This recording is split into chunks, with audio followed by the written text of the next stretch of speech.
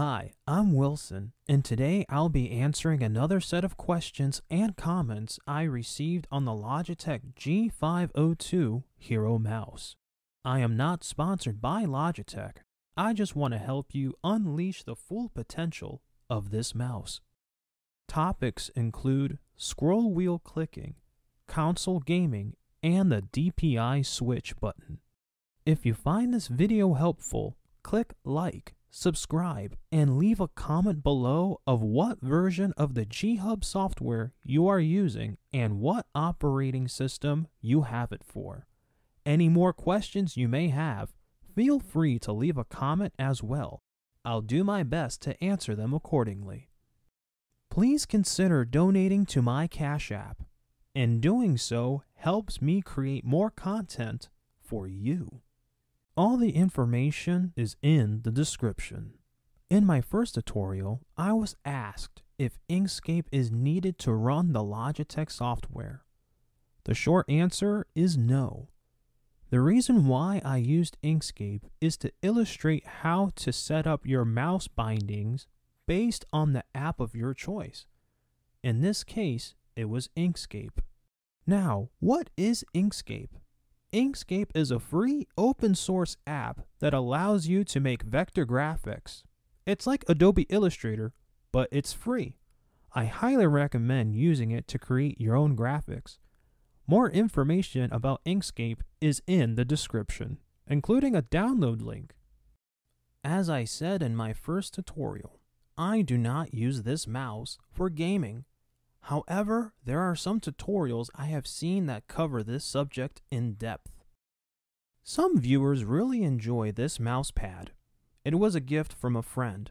It features the American flag, the Declaration of Independence, and the Liberty Bell. The one thing I really like about this mouse pad is the fact that it's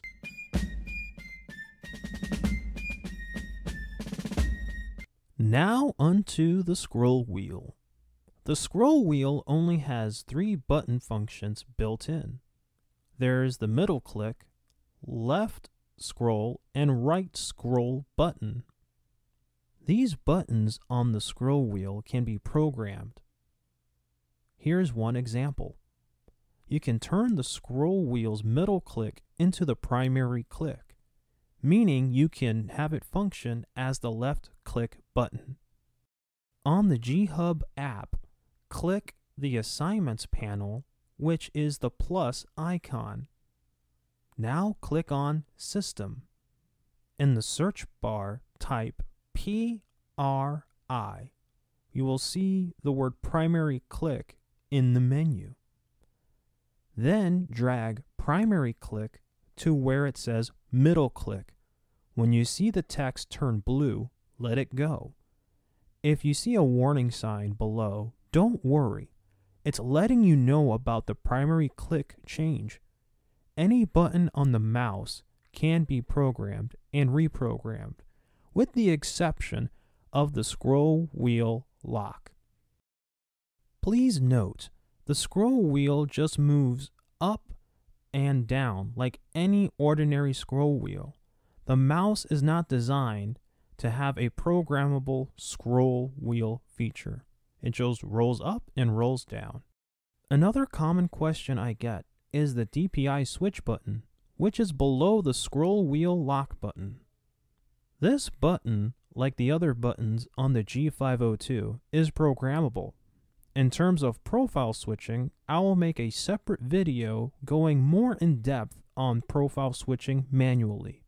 In order to be notified on that video, click the bell icon to be notified on your device.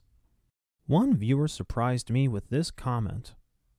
I never thought of using this mouse as a means to help you when your keyboard is not working. The greatest part of making the first G502 tutorial was the many thanks I received from the people I helped. My personal favorites are about people who just bought this mouse and needed help. I want to say a special thank you to YouTuber Big Smoke for being my 100th subscriber and YouTuber Baggins YouTube for being my 200th subscriber. Thank you. I also want to say thank you to those who find my voice helpful. These comments make my day. Well, I hope this helped. Please leave a comment of what version of G Hub you are using and on what OS if you need help. Any questions, leave a comment.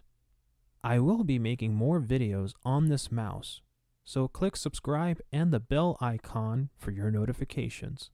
And again, please consider donating to my Cash App. Your donations will help me get better equipment to make these videos. All information is in the description.